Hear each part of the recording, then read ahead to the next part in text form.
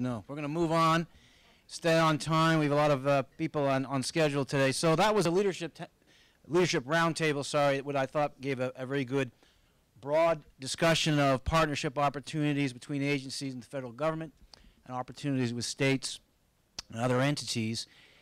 This panel is actually going to do a deeper dive for the next hour uh, on how we move the needle through those partnerships, in particular with the subcommittee on of uh, Ocean Science and Technology, or the SOST, which actually was talked a little bit about uh, by Deerin and others on the last panel.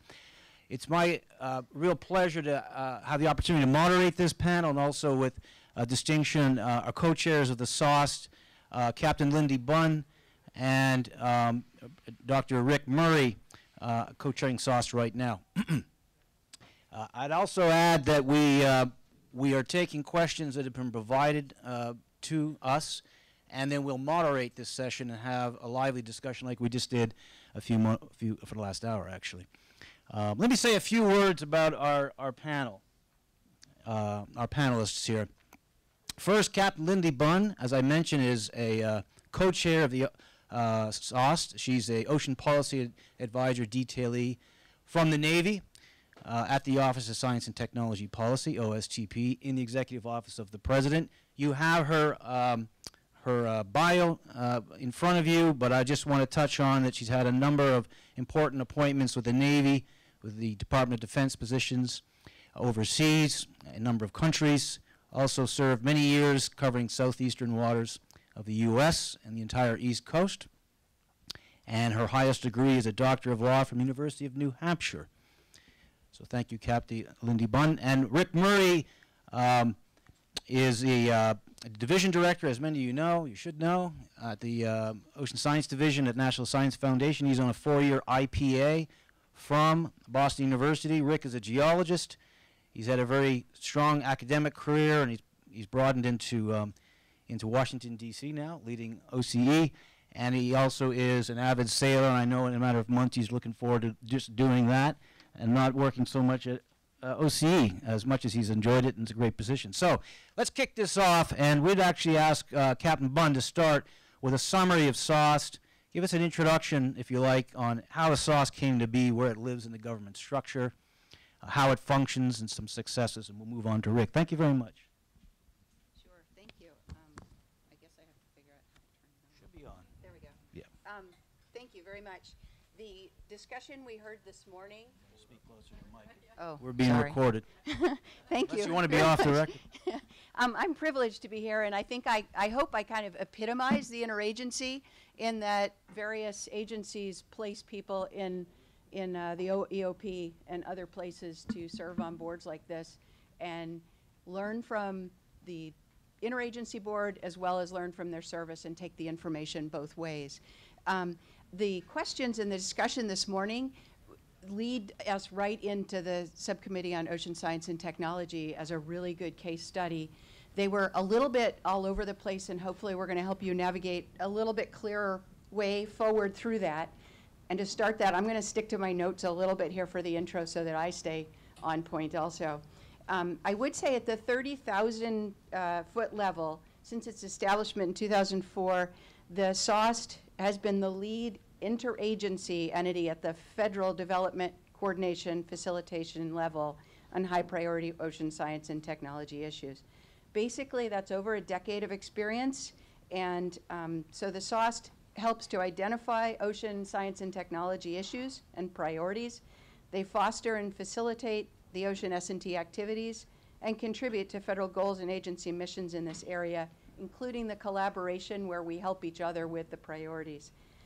With the science being the foundation of the policy, this is really impactful at the placement of the SOST, especially now, as you heard Deerin talk a little bit, with technology playing more and more a role from the policy angle as well.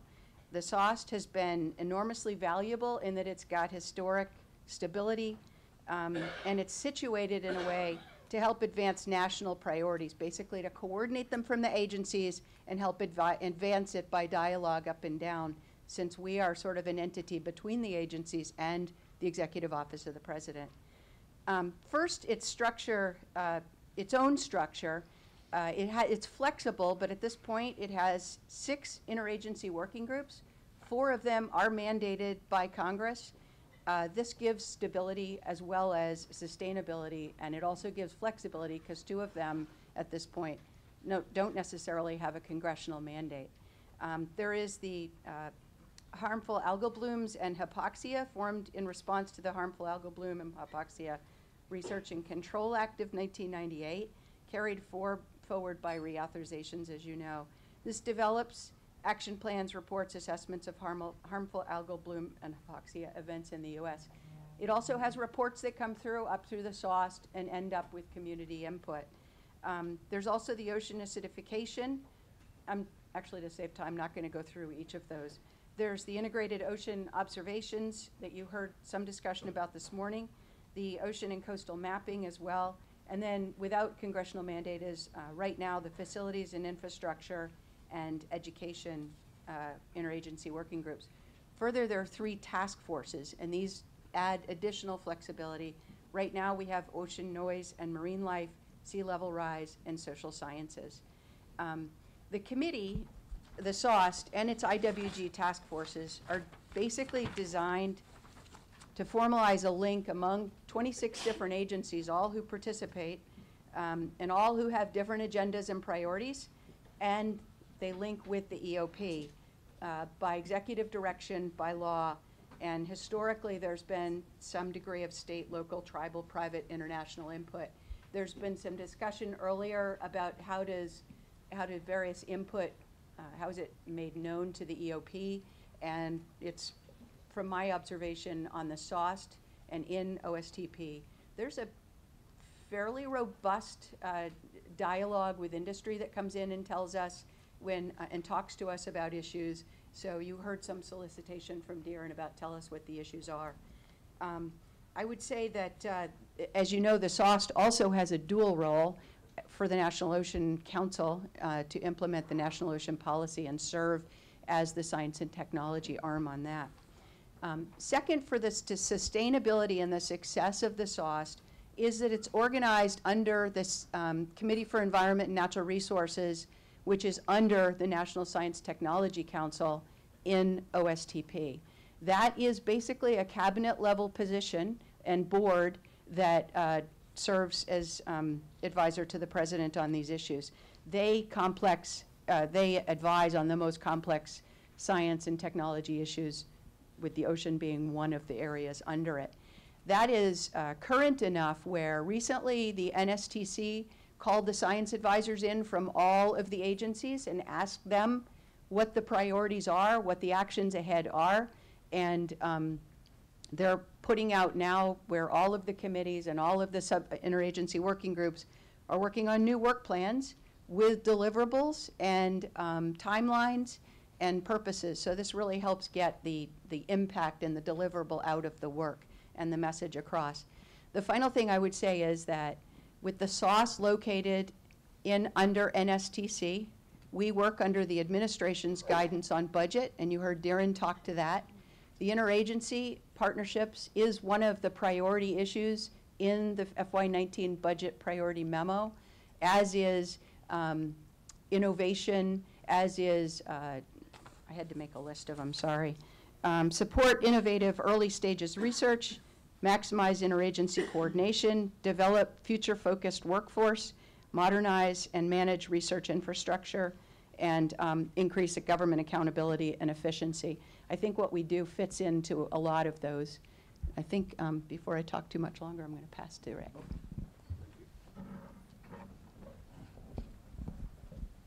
Is working?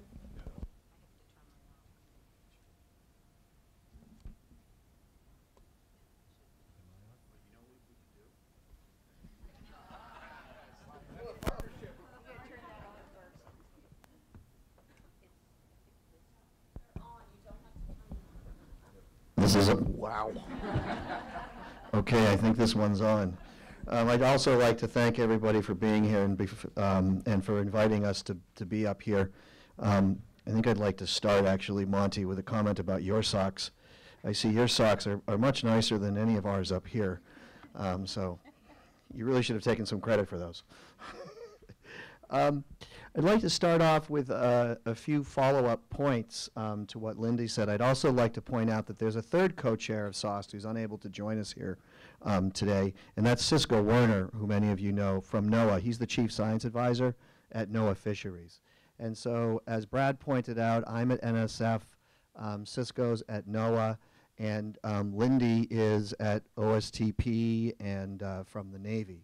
And this is sort of one of my, my first points, is uh, I've been doing this now for about four years, and um, I rapidly learned when I got here to Washington, D.C., that we all wear different hats. And you heard that from the people earlier. And they were talking about, what was Deerin's wording? Um, dual-hatted, and everybody was talking about when I'm wearing this hat and that hat. And for me, it sometimes comes down to something as straightforward as looking down at my badge and seeing who I'm representing today. And so right now I see Rick Murray, so that's a good start. And it says Subcommittee on Ocean Science and Technology, which is why I'm, I'm here today. But I also represent NSF at various times as I'm you know, doing my thing around DC.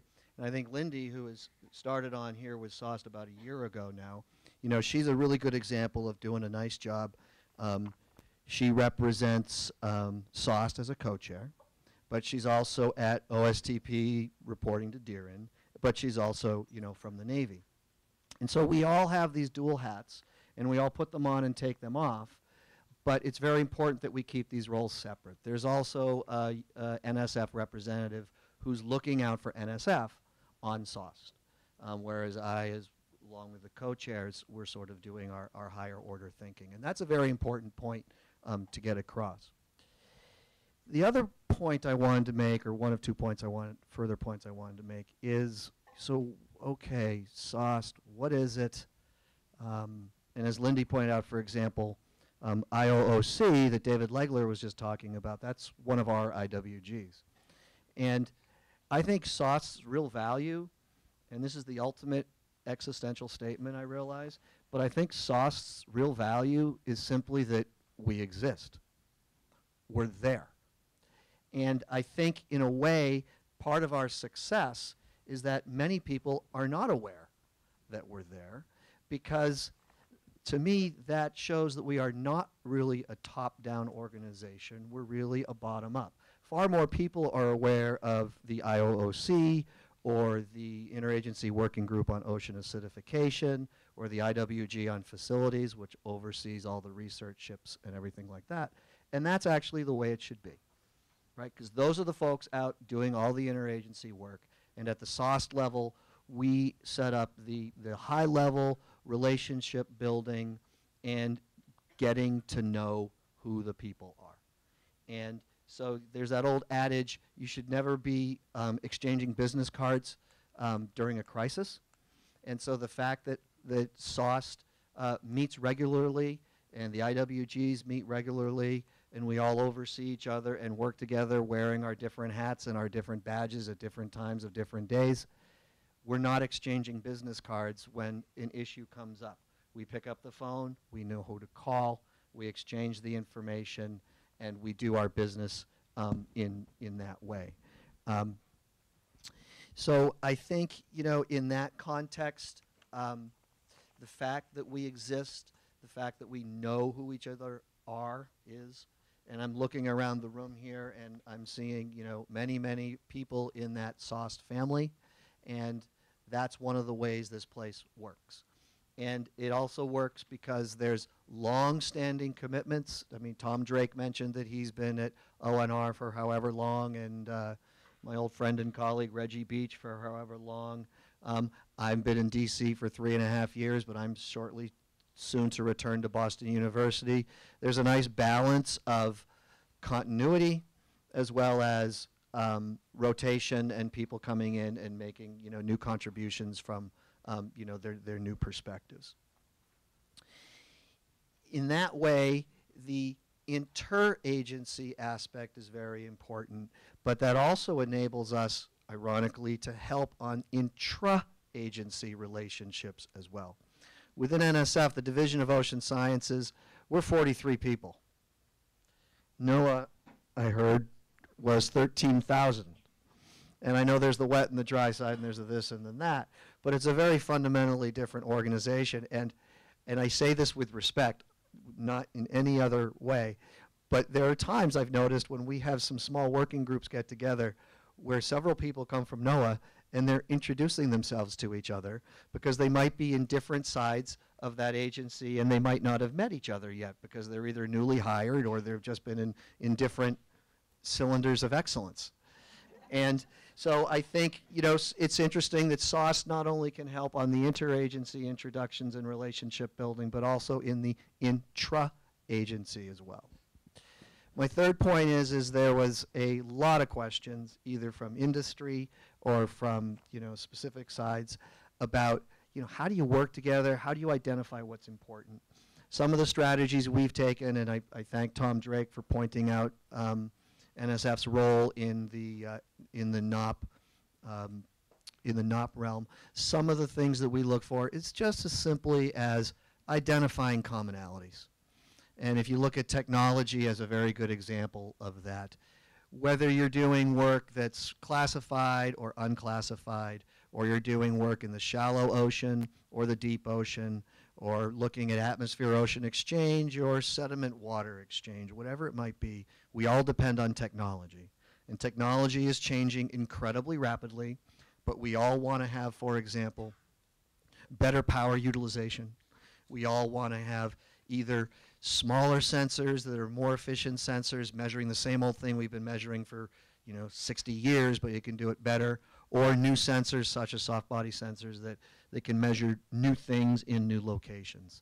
And so that's one of the approaches we take at SOST as a, as a very simple strategic approach. It's like, okay, we're hearing this from BOEM, we're hearing this from NSF, we're hearing this from, um, you know, the, the academic geeks, we're hearing this from, you know, the more applied side of things, whatever it might be. What are those commonalities? And that is, a, I think, a key role that SOST can play simply by listening and simply by um, existing. Okay? And then my only other point we can perhaps explore in during question and answer is we do just because we all know each other play a big role in international conversations as well um, you know david legler from noaa who's at iooc who you just saw he works with us on you know a number of g7 type conversations and those sorts of matters it's often the same people and whether we know each other through SOST or through an IWG or through a task force or through a whatever. It's the same people. It's the coalition of not the apathetic, but the coalition of you know the people that will roll up their sleeves and say yes, doing the duties as other duties as as described. And I'll stop at that point, Dr. Moran. Thank you, Rick, and thank you, Lindy. I uh, I think that's an excellent overview of what the SOST is, uh, how it functions, the various moving parts. And so, uh, why don't we dive a little more deeply and uh, and kick off this um, this sort of Q and A, then we'll get to the audience. But just just to start out, if you either one uh, comment on um, a success story, in other words, where if you had to to point to one success of interagency partnerships through SOST or other means. Um, if you could talk about that in terms of what made it successful, what are the lessons learned, and how this might carry forward to actually your successors going forward. Sure, I'll, I'll talk about two. I'll, I'll try to be quick. Um, one of them also speaks to that point I said about our importance being just that we exist.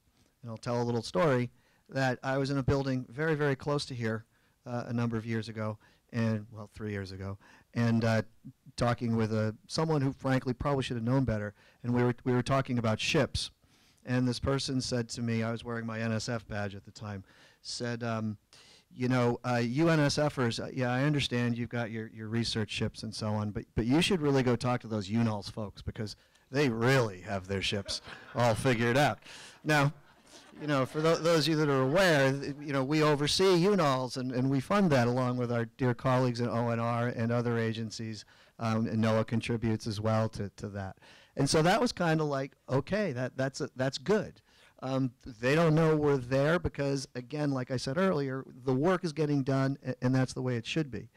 So that is a good example, I think, of, of a, you know, UNOLS is not specifically underneath um, by any way, shape, or form, but it's the same agencies, it's the same people doing the same thing um, in terms of developing these partnerships. You know, inside UNOLS, there's there's NSF-owned vessels, there's vessels owned by academic institutions, there's vessels owned by ONR. They all work together, et cetera, et cetera. And that's probably one of the most successful partnerships in ocean history.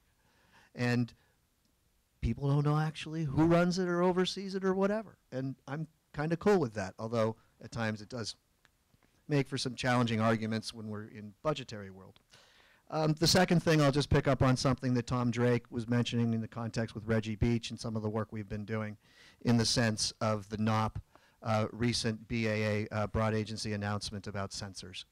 Um, uh, we did sit down and we said, you know, you pay, uh, you, you play, you pay. And uh, we got that together in the space of about a year and a half. And, uh, excuse me, year and a half. And, um, yeah, I'm going back to Boston. Uh, and, um, uh, you know, $18 million out there for, for CubeSats, ocean sensors, and some other things. And again, it's a, in that case, it was a, a coalition not only of the willing, but a coalition of making sure we had people in the room that can. Um, Reggie and I asked the, the people to be in the room to really be those that have financial decision making ability. They need to inform their boss, but they don't need to ask their boss's permission per se, other than the, the usual. So it's like get the right people in the right room. You can make a decision. We pass the hat. Um, ONR certainly has the uh, greater financial contribution to that than does NSF, but you know we're, we're putting in several millions of dollars to that um, from our um, flat budget, and I think that's really already made uh, or is in the process of making a big difference to the community um, in that regard. Um, I figured out how to get it on, I think. um, so a couple things. One is the SOST itself. I think uh, one of the things that the, the Subcommittee on Ocean Science and Technology does is gets together. They did a, a 10-year plan uh, previously from 7 to 17, and there's a new one working. And the success of that is the, the ability to prioritize some direction to go um, slowly once that's out, but it's working. And it's been a lot of dialogue to get that forward, and I see that as a success. Um, the success of just the people being in the room and knowing who, uh, Dr. Drake can probably add to this, but the, the Navy has been getting researchers and operators together uh, in um, an ocean observation system uh, security group, really with the proliferation of civilian um, observation and the, the concerns over looking at what, if any, concerns there are national security wise, to identify that and then have the right people to go and talk to to solve um, any kind of observation re data release early is a good thing. Um, so I think that's a success story of knowing the right people, and a lot of that comes just from the agencies having their own relationships, but it's facilitated and fostered in the SOST and some of these other working groups. Two others, um, just from my own Navy side of things, knowing one is the ability to know and the ability to have the, the forum for the dialogue on, on wind energy, oil and gas fields, and so forth, to find out from the Navy early, or for the Navy to find out from industry or whatever, what's going to be happening. That dialogue is, is really good. Um, and the third thing is, even if you can have dialogue on um, where you're going to hear about aquaculture later, uh, some of these dialogues are facilitated through finding out where somebody wants to put an aquaculture farm or a fish farm or anything, um, and working that with state or federal waters and having the various federal agencies. The Navy has some areas kind of off limits to other people, and sometimes that can work. So the dialogue early is really good, and I think we help by everybody knowing each other, knowing what's going on out there and sharing it and encouraging and facilitating early dialogue to avoid later obstacles. Thank you so much for that. I, um, I'm going to pick up on a thread, actually, uh, I think from Rick on UNOLS, and uh, many of us in the room are academics. I'm an academic. You're on loan as an academic, Rick. Um, I, I, wanted to hear your perspective on, uh, as SOST co-chairs, of some of the things that um, the federal agencies could do to really advance the partnerships with academia, and if and if you can, a comment also with industry. And I'd actually like to also point out that um, you're probably burning out there with questions. So there are two mics in the room. I encourage you to uh, engage with this panel. We've got another 40, 40 minutes or so. So uh, I'll turn it to our panelists right now. Um, I'll start on that one because uh, um, not so much necessarily just through SOST, but OSTP is holding um, its first federal interagency STEM workshop today. Uh, and they have um, a fairly large number of things that they're working on. One of them is to expand public-private partnerships in educational entities and employers.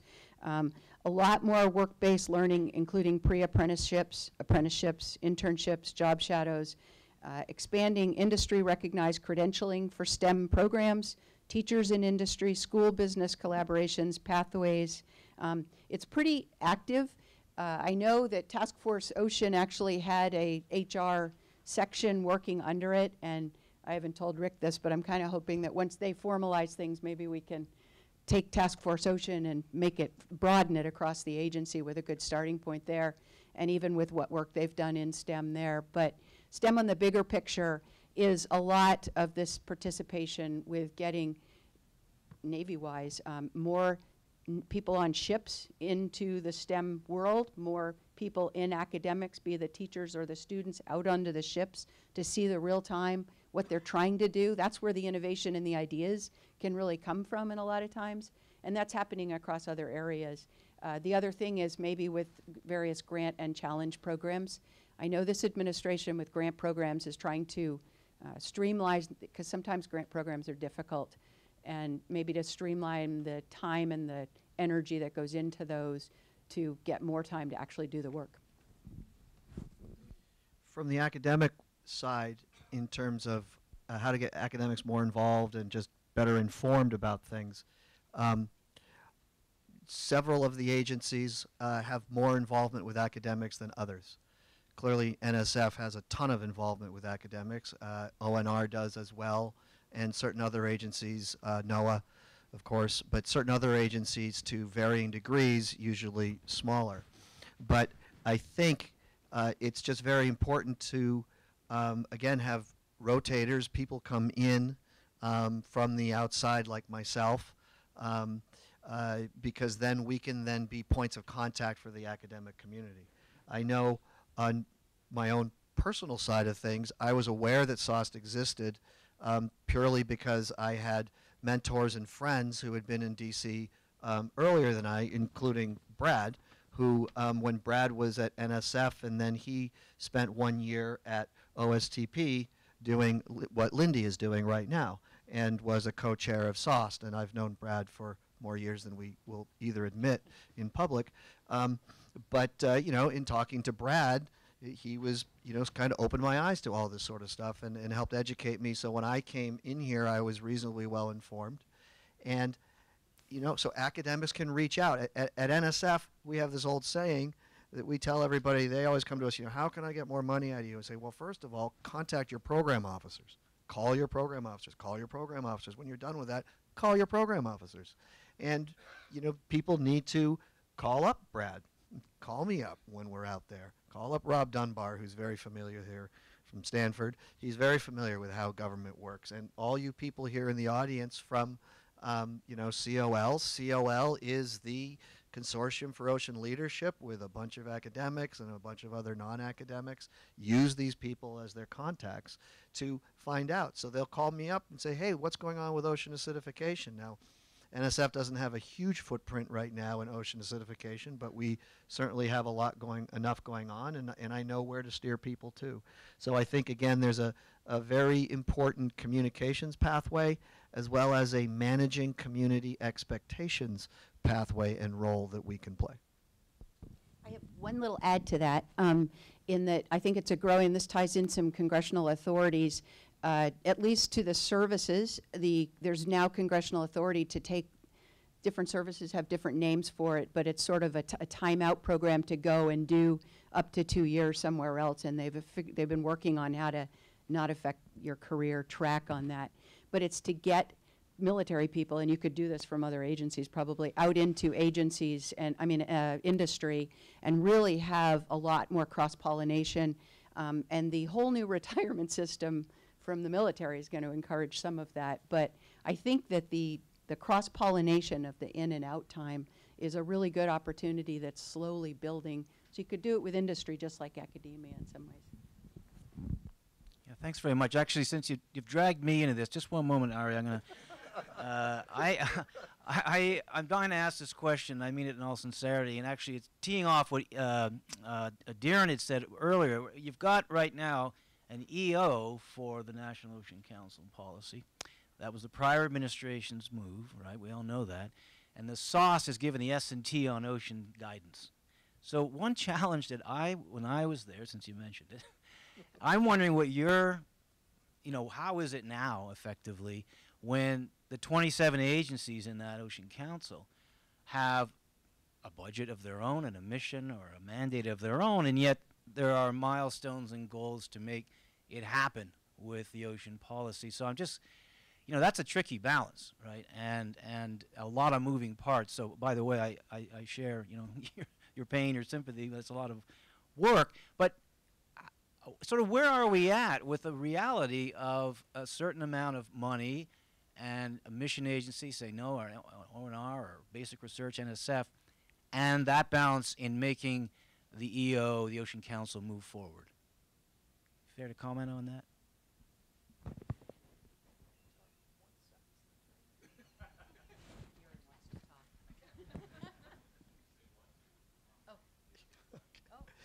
I- I'll start off with just one or two sentences, and then I'll hand it over to Lindy, who may or may not hand it over to Deerin, who may or may not hand it over to somebody else. Um, but just as a reminder, SOST is not a funding interagency body. We do not tell agencies what to do because they have their own missions, either as as mission statements or as congressional mandates or, or what have you. We promote agency cohesion and collaboration and in a way it's kind of nice because we don't have the pressures of directly allocating funds. So, you know, Lindy, myself, and, and Cisco, we're, we're the co-chairs, um, you know, but you can't come up to us and say, gee, why don't you put more money into X, Y, or Z? And that's kind of liberating. They, and they know we're, we're um, useless for that. Um, and um, so I often will put my SOST hat on because I also get the same questions wearing my NSF hat. But I will say it's very nice in SOST land to not have that funding pressure. We can just speak to the coordination aspects. Now, regarding NOC and, and NOPP, I'll pass that over to you or question and answer session or, or however you guys want to do it.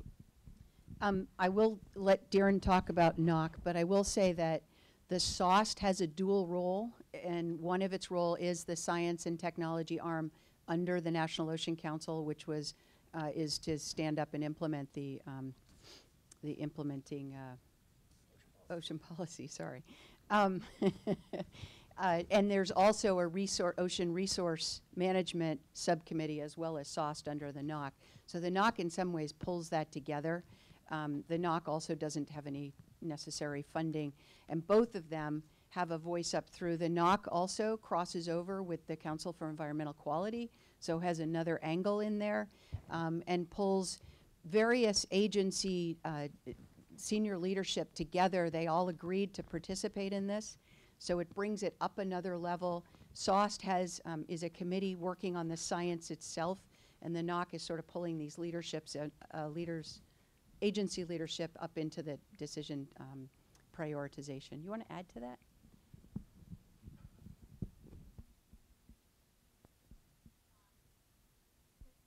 Great, thank you. Um, just very briefly, Brad. Um, so one of the things that we're thinking about as we look at the policy going forward is, is there, is there an opportunity or a need for the council to, um, recognizing the, the, the, the multiplicity of, of priority documents that are out there that identify whether that's cross-government, whether that's regional, whether it's within an agency. I mean, there are all sorts of, you know, identifications of what's important, what do we need to spend money on, how do we focus that thinking cross-government and looking at challenging resources, is there an opportunity or need and a benefit to having the council without getting in the way of those or, or it, you know, stepping on those kind of priorities, providing a signal in the form of identified priorities that have the consensus of, right, and sort of trying to drive towards what is a high level of, of a few number of priorities that we can all agree deserve some sort of investment on a collaborative way. The second piece of it then is there was a lot of discussion about the National Oceanographic Partnership Program, uh, and we see that as a strong and positive and, and underutilized mechanism by which we have the opportunity to do which, that which is challenging in many instances, which is to commingle money from a number of agencies. It also has the benefit of being able to bring in the private sector and the research community to work collaboratively and through that synergy get more throw weight for the dollars invested. So if you connect those two things, high level signal, smaller number of priorities, consensus across the board, and then the ability to plug that in perhaps to the NOPP going forward, then you start to be able to address the issue that you're describing. Thanks. And I think all of your comments are really helpful to the audience to sort of get in mind what SOST is, how it functions, and benefits the ocean science community. We have a question over here. From, please state your name and ask the question. Thanks, Brad. Uh, Ari Gerstmann with the University Corporation for Atmospheric Research. Um, I want to interrupt this important conversation about OSTP's unique but limited role and go back to your question about the role of the academic community. And uh, Rick, your, your answer, I, I'm sure you implied it, but I'm hoping you could talk a little bit more explicitly about the two-way communication between the government and the academic community. I know that in the atmospheric side, we see a lot of opportunity for academics to inform government partners about ways that they can do a better job of collaborating across agencies. Um, and even within agencies, and, and Rick, you know this in, in the work that NCAR does uh, at within GEO, we've done a, a lot to uh, encourage uh, AGS and OCE to work together, particularly in community modeling.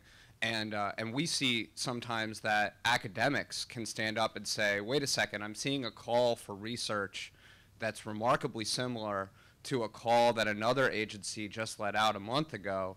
Do these program managers know each other? Do these program managers know that they're asking for similar research? And sometimes we, we see opportunities where um, a single PI who's receiving funding from uh, uh, two different agencies to study a, a, a similar problem uh, can themselves be the point at which uh, interagency collaboration can exist, and, and they can drive it from outside the Beltway, which is even better, right?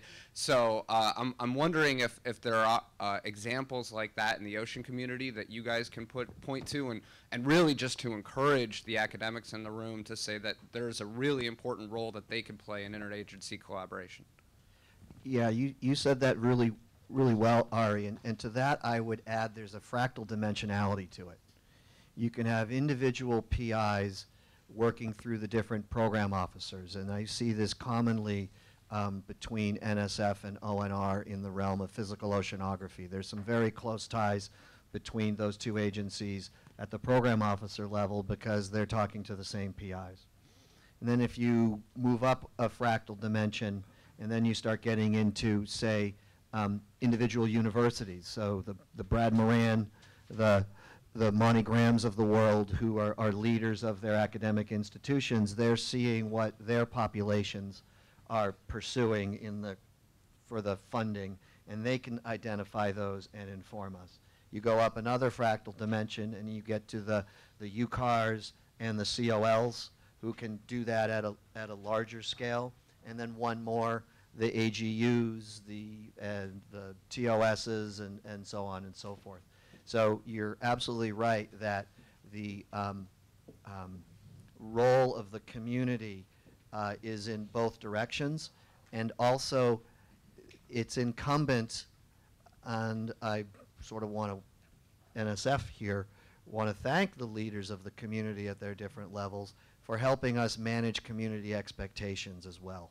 So there's a, there's a request side of this that kind of bubbles up, but there's also a managing side of this where we can say certain things to the academic leaders and then that percolates downward. Percolates always goes up, so why do people say percolate down? But um, popcorn kernel down um, the way to the, uh, to the PIs. All right. Uh, our Admiral uh, White said to shake things up, and we uh, need to hear an industry perspective. So this fellow over here, Professor Marlon Lewis, is going to shake things up and give a question. I hope that speaks a little bit to that. Well, sort of.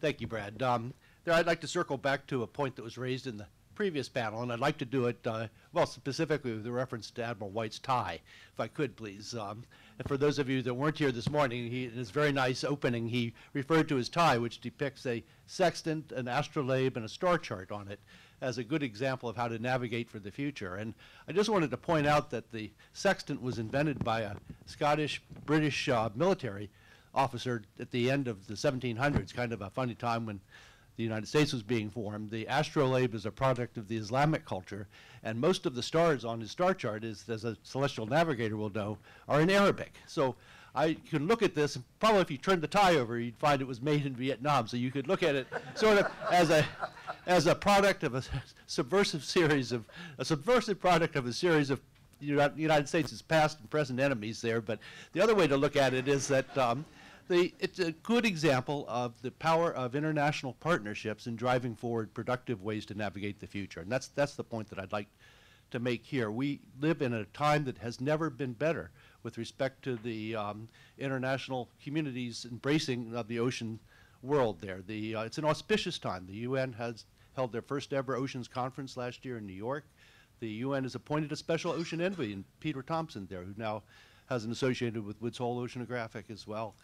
This year, uh, Canada is the host of the G7 uh, uh, summit here, and as a host nation there, we're able to choose the uh, themes of it, and oceans is one of the themes of this year's G7. So I think it's a wonderful time to embrace an international partnership there. And I guess if I were to turn this into a question for the uh, panel here is, do you think that the United States has an effective way at present of rolling up the priorities of the oceanographic community in a way that would drive forward productive ocean partnerships in the future? John Holdren took a personal interest, Brad, as you remember this, in, in advancing this. I don't see that right now. Um, do you think that it's currently being effectively um, brought forward to the international community to, uh, in, a, in a way that's going to be good for the community in the United States? Thank you. Thanks, Marlon. I can say a little bit, but probably not a detail. I, um, as I think I heard mentioned earlier, there is a pretty robust community of people doing this, and um, actually, the SOST is looking at implementing the UN plan that's come before them, and this is the decade of the ocean under the UN, I believe. Um, so there are efforts going on. Um, I'm not working them personally where I would be comfortable talking in detail about it. Um, and I don't know if you have anything to add to that. So to answer your question specifically, I'd say no. I'd say it's not effective yet. I think there have been times in the past where it's been more effective. I think we're coming out of a relatively less effective time, perhaps. Um, but I see progress, and I and you know we all base our experiences on what we see, you know, right in front of us and work on every day. I just want to draw attention again to another fractal dimensionality thing. Uh, Jesse McGrath in the back row there. Jesse, wave your hand if you wouldn't mind. Um, so Jesse, she's um, she works in my division, reports to me. She's our ocean policy specialist. Uh, Roxanne Nikolaus, many of you know, may know, she used to have that position. She's also our one of our SOST policy advisors next to Jeanette Davis there. Raise your, raise your hand. There you go. Um, but she's also the U.S. government's point of contact for G7.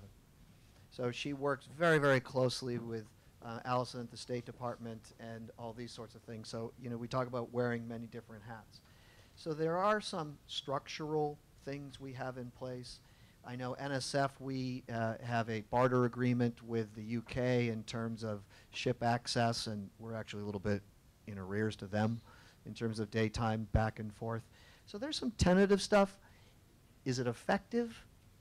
I don't think it's effective at a, at a wholesale scale yet, but where there's a will, there's a way, and there's some other aspects, you know, the Galway Agreement and some of these other things that I think are, are on the way.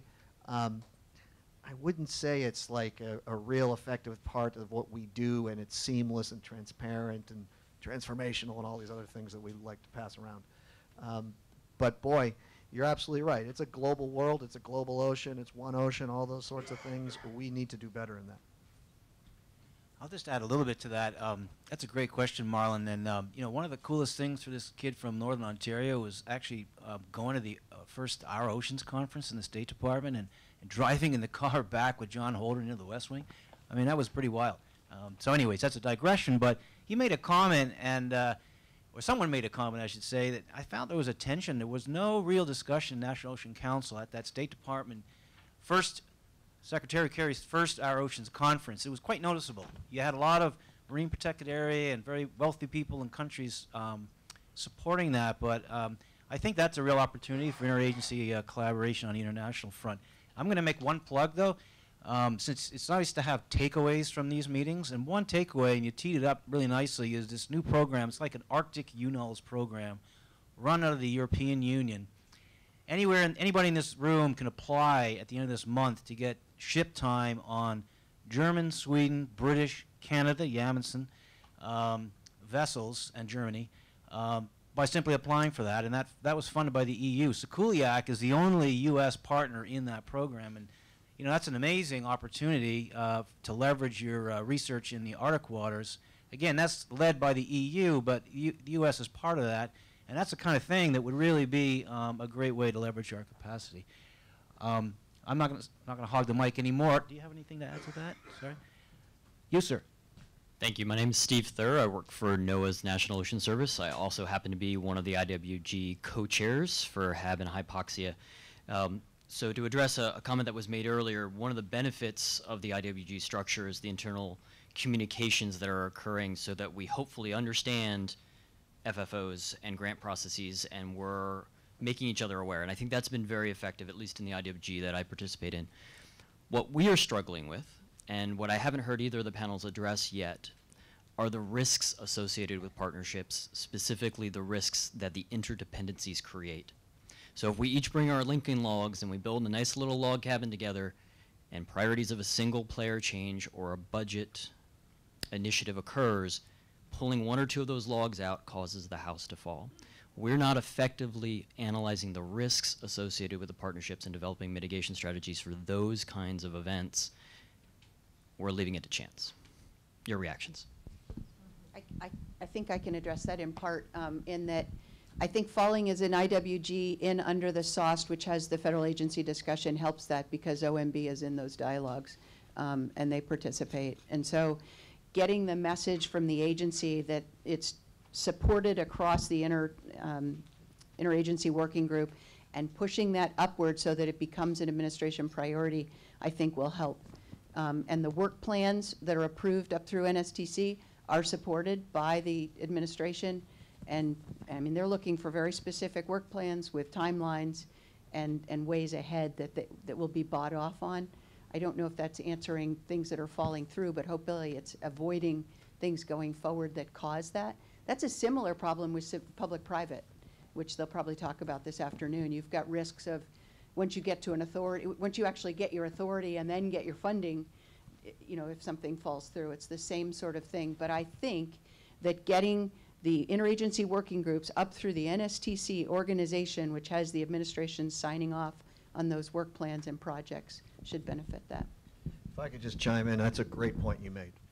And we see it at different positions throughout all our funding agencies, um, you know, most certainly.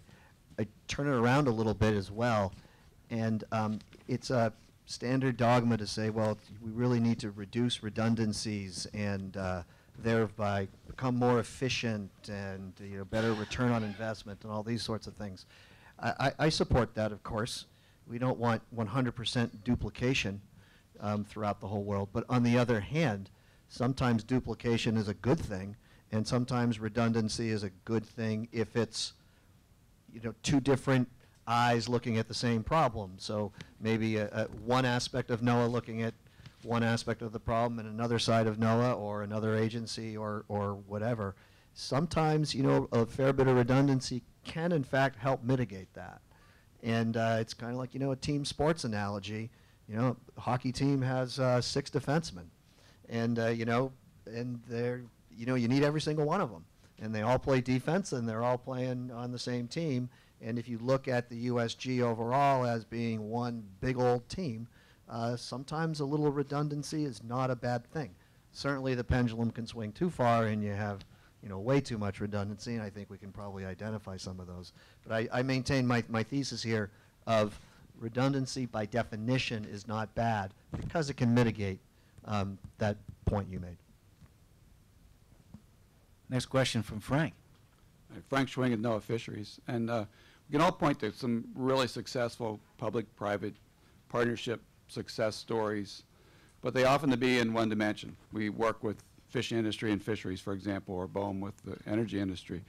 NSF, the academics, uh, we have partnerships with NGOs, but how are we, in your fractal example, taking that the next step and making sure that we're not creating cylinders of partnerships, but truly bringing all those groups to the table? And I'll point out to a, a really great example, what Marlon's doing in Nova Scotia, where he has a really nice consortium of academic industry and government working together. So do we have some examples where we're doing that at the multidimensional perspective uh, federal, or, or what are we doing to advance that? I could give one, this borders on an anecdote, and I usually don't like anecdotes because then they get right into anecdata, and it doesn't really help. But here's a specific example, and I mention it because it's pretty high profile, at least in the NSF world. We have the Ocean Observatories Initiative, which cost us $385 million to build, and it's online now, and uh, we're hopefully operating it in the future at about $45 million a year. And there's several different components around um, East Coast, West Coast, North Atlantic, and the North Pacific right now. Well, one of these arrays is called the Pioneer Array, and it's located off essentially south of Martha's Vineyard and Long Island and so on. And those scientists there, in particular a, a gentleman named Glen Gawarkiewicz at, at Woods Hole, um, he works really, really closely with the fishing community. Um, uh, in terms of data generation, so there's some fishermen going out and taking some profiles on their ships. The fishing community is actually given Glen some very confidential, you know, location of their hot spots that they, you know, commercial fishermen will cherish their keeping that private. Um, but there's a very nice dynamic between that group at Woods Hole using that pioneer data and the commercial fishing industry. And that was, in fact, some of the target, some of the reason that we, we built the thing. Um, but it's flourishing to a level that we did not anticipate whatsoever. It's getting to the point where the commercial fishing industry is some of our strongest co communicators in terms of the merits of the, uh, the OOI. Um, and so I think that's a, that's a good concrete example. I mean, I never thought I'd see the day where there'd be town halls where you've got, you know, the federal scientists and the commercial fishing community standing together as opposed to an adversarial relationship, um, really working together and, and arguing in favor. Part of that is also because the OOI data is public and streaming and available to all. You can be a scientist in Kansas, not that there's anything wrong with Kansas, but you can be an oceanographer in Kansas and downloading that data. You can be a commercial fisherman in Rhode Island and be downloading that data to help you figure out where to go, um, you know, that day. So I think it, a, like I say, kind of borders on anecdote, but it's a pretty large scale anecdote, and I think you're going to see more and more of that. And there's probably others in the audience, Dave or others, that might have other things. Jesse, do you have? No? I, I think um, echoing what Deerin might say if he was sitting here, that the um, portals for the data may be well doing this in that you're having industry and state and local governments, federal and so forth, input into the Northeast and Mid-Atlantic portals, and they're proving to be, um, from everybody that's coming back to us, enormously valuable, and they're actually funded from outside right now a lot. We're trying to find ways to help fund them to mix it, but to me, those would be a good example of where it's all coming together and going to have, hopefully, some sustainability that way. That's great, and we'll take, I- we've got five more minutes to go, and we'll take another question. I keep waiting for Rick to say partnerships, but I, I don't know if it's gonna happen. Anyways, over here, please. Hi, this is just a quick last question. Uh, I'm Rachel Keelan. and I'm with the National Ocean Service at NOAA. I am wondering, with the announcement on February 6th by the White House about a reorg of the NSTC, how you envision SOST falling out. That's a good question.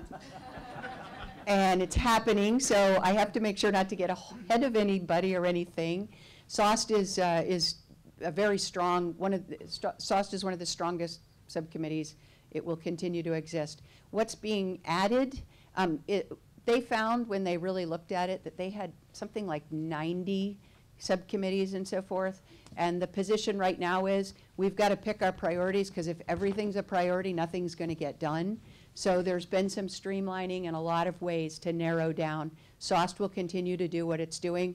We are working, all of the um, IWGs and the sub, and the subcommittee will be working work plans and charters to be approved, hopefully by the 21st of April.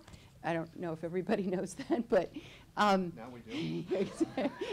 But there's, interestingly, there's a new committee, and I was authorized to say this today, that, that where they're combining science and technology for so many things that go across the board that are so hard to actually get forward because they, they play into too many different silos or cylinders.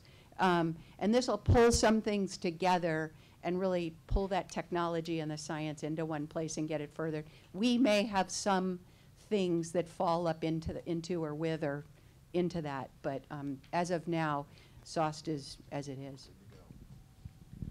Okay. Wow. Ouch on that one. That was a great question. Um, April 21st, you heard it here. Uh, I want to thank our, uh, our panel, and please uh, join me in doing so. Thank you very much.